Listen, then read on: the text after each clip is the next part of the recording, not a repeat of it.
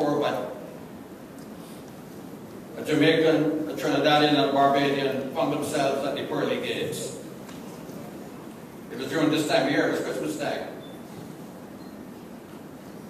And Peter said, well, things are a little busy. In order to get in, you've got to produce something pertaining to Christmas. So the Jamaican put his hand in his pocket. He said, we have some sorrel. We have some sorrel.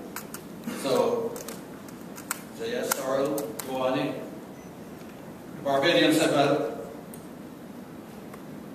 I got some poinsettia. I got some poinsettia. So I poinsettia, go on. The Trinidadian had no pair of panties. So Peter said, what?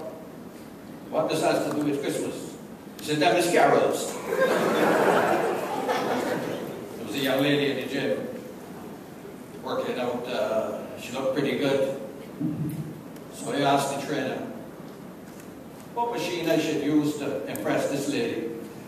He said, better use the ATM in the lobby. I was telling me the story of two Grenadians who for many years wanted to come and live in Trinidad.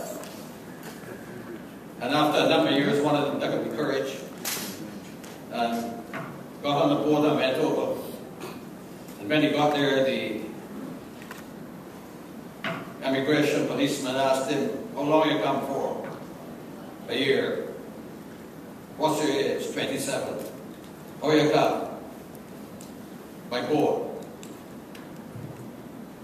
So, said, go on in. So he went his friend at home and he said, uh, you know it is easy. All you got to do is remember 127 board. 127 board. 127 board. So the fellow wrote it down. And after about a month he had it learned. 127 board. So he turned up at immigration and the first thing the policeman asked him is, how old are you? He said, one. he said, how long you come for? He said, 27. The policeman said, take me for an idiot or a fool? He said, both.